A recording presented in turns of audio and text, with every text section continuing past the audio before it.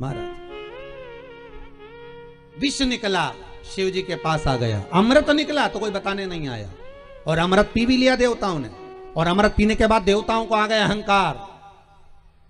और इतना अभिमान देवताओं में आ गया, इतना अभिमान आ गया, होता है, जब धन आ जाता है, संपदा आ जाती है, सत्ता आ जाती है, वैभव आ जाता है, थोड़ा धन प्राप्त हो जाता है, थोड़ा ज्ञान प्राप्त हो जाता है, थोड़े दुनिया के लोग विद्वान हो जाते हैं, कुछ ज़्यादा पढ़ भी लेते हैं तो विद्वत्ता आ जाती है, पर ज्ञान तो आ जाएगा, अमृत तो मिल जाएगा, पर नम्रता कहाँ से लाओगे?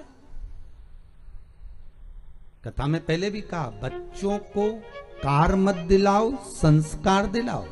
कार दिलाओगे, बच्चे बेच कर खा जाएँगे संस्कार दिलाओगे तो बच्चे कारों की लाइन लगा देंगे। संस्कार अगर हैं तो कार भी शोभा देती है। आनंद का भाव, निर्मल भाव। अमृत बताने नहीं आए, और अमृत नहीं बताया। पार्वती ने कहा, अमृत नहीं है, नहीं आए बताने। शिव जी बोले, कोई बात नहीं नहीं बताए, मत बताने दे।